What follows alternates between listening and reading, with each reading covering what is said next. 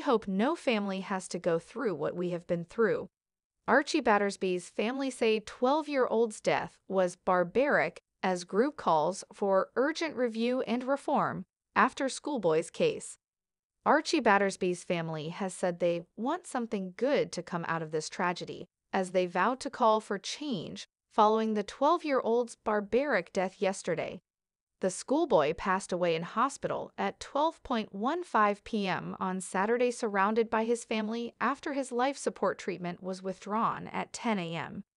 He was being kept alive by a combination of medical interventions, including ventilation and drug treatments,